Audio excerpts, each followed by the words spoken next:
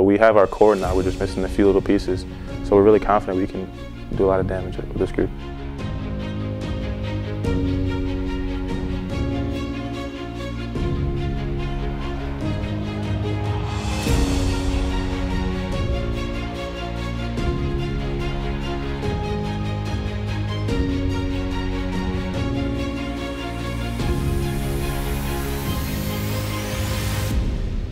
Lofton steps and pops from the free throw line. Oh!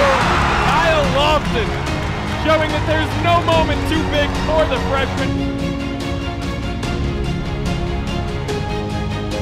Welch for three. It's good.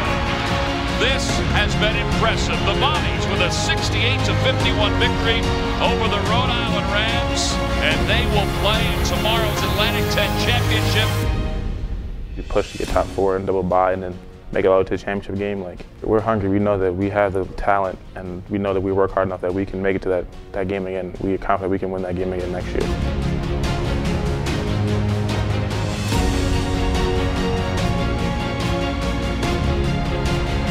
The great fans here. I'm excited to play for you guys. Excited to um, hopefully bring back some championships.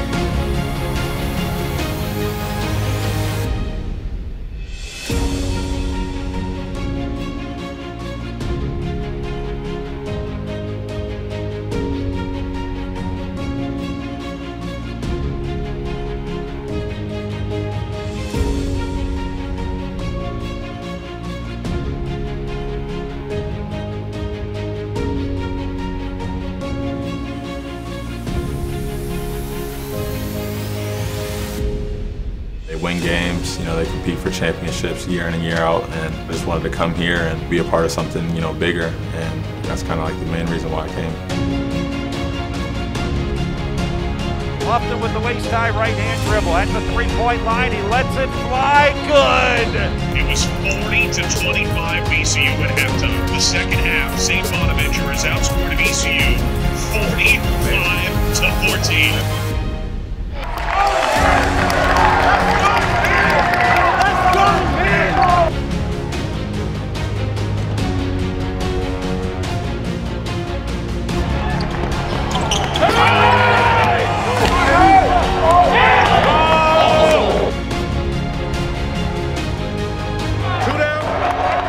one to go. We'll see you all day, baby.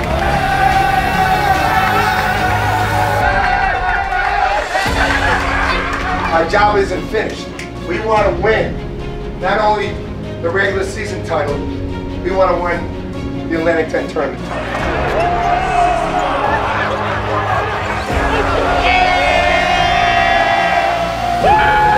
And we're done here.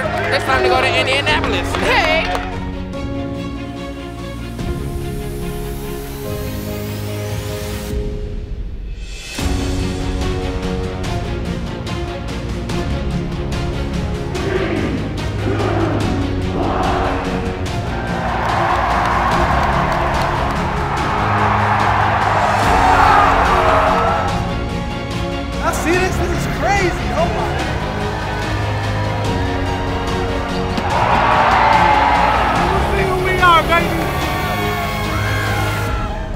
We going back to